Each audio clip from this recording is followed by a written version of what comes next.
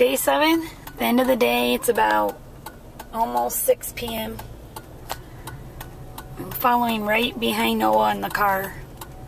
Um, we don't usually do it this way, but the sun is setting and he needs to get his miles in, and we have this really awesome wide dirt road here that I can follow behind him without bothering other traffic and or being a danger to anybody else on the road because we don't want to be a danger to ourselves or to anybody else so.